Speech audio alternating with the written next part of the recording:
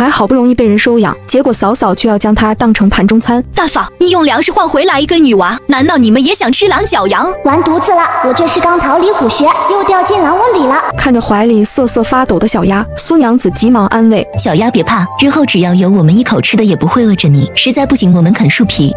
苏瑶还是第一次被人如此温柔的对待，心里不由得生出了一丝暖意。哪里会轮到吃草根树皮的份？我的空间可是存了满满当当的。大嫂，要不晚上把小鸭烤了吧？我们家好久没开过荤了。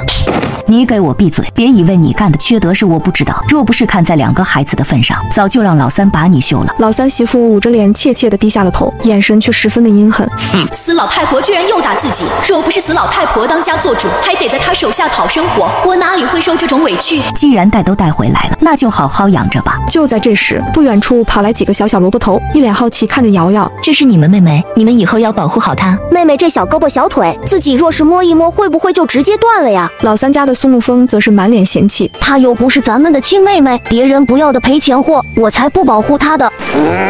老三，你瞧瞧，这就是你教养的儿子。苏老三直接拉住苏沐风，按在腿上，几巴掌直接拍在屁股上。我让你乱说，这可是妹妹瞎说什么呢？哼！爹爹坏，娘说女娃都是赔钱货，日后都是要嫁出去的，家里的东西日后都是我的，凭什么让我喊她妹妹？这时秦招娣连忙捂住了自家儿子的嘴，小孩子瞎说的，你们千万别当真哈。恰在此时，怀中的瑶瑶却发现一件惊奇的事：沐风哥哥竟然是双眼皮，苏老三却是单眼皮，秦招娣也是个单眼皮，难道沐风哥哥不是苏老三的种吧？晚上，瑶瑶想到心中所想，但却不知道该如何开口，只是装着懵懂天真的看向苏老太。阿奶，沐风哥哥长得真好看，还有双眼皮呢，跟三叔三婶都不一样。苏老太瞬间心里咯噔一下，三儿媳妇跟老三全都是单眼皮，这生出来的娃长得却是双眼皮，而且沐风长得并不像自家儿子。联想到没逃荒在村里看见秦招娣跟村里某些人卿卿我我的场景，苏老太顿时不淡定了。该不会真不是自家老三的的种吧？瑶瑶看着阿奶的眼神，便知道阿奶被自己点醒。现在她可不管大人心里的猜疑，而是想着该如何把空间里的东西拿出来。阿奶，我想去窝尿，你带我去一下呗。苏老太牵着苏瑶的手向不远处的草丛而去。就在苏瑶蹲下来的那一刻，瑶瑶却皱起眉：“阿奶，你在这看着我，我不出来。好好，有啥事就叫阿奶莫要到处跑啊。”苏老太向走几步，瑶瑶看到没人，趁机从空间拿了一只兔子出来。没一会，草丛就传出了瑶瑶的喊叫声：“阿奶，你快过来！”老太太听见瑶瑶的喊叫声，嗖一声冲了过去：“瑶瑶，咋了？阿奶在这里呢。刚才有个兔子跑到我脚边，现在还在我怀里呢。”老太太一只手把兔子耳朵紧紧地抓住，这才牵着瑶瑶朝山洞走去。而这一幕都被不远处的王翠花看在眼里，心里那叫一个恨呐！这个赔钱货的在自己家里也不见能够捉到什么东西，一到别人家不是野鸡就是野兔，不行，自己可是这娃的亲娘，这种好东西绝不能便宜了外人。想到这里，王翠花气势汹汹朝苏家人走去。这是我闺女捉到的野兔吧？就不劳烦你们给我做了，我自己拿回去就行。什么？你家闺女捉来的？这孩子现在跟你有毛的关系？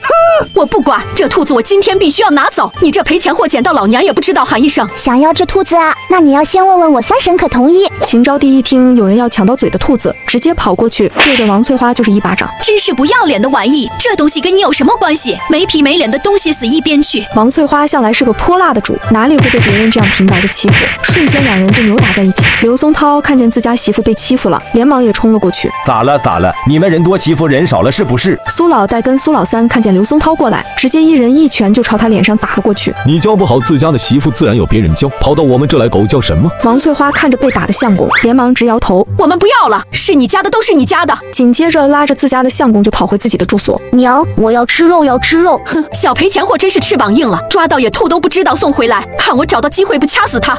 送都送出去了，就是别人家的孩子了，以后也就别往人家跟前凑了。若不是你自己没用，我怎么可能稀罕赔钱货捉回来的野兔？紧接着又看了一眼自家的大闺女，还有你，同样是赔钱货，她能捡到野鸡野兔，你咋就不能呢？这边因一只兔子而揪心，可苏家已经架起了火锅。苏老太把满满一碗兔子肉递给了瑶瑶，瑶瑶，快吃啊，愣着做什么？苏瑶点了点头，把旁边那碗面疙瘩汤推到了一旁。阿奶，我人小，吃不了这么多，随便吃一点就饱了。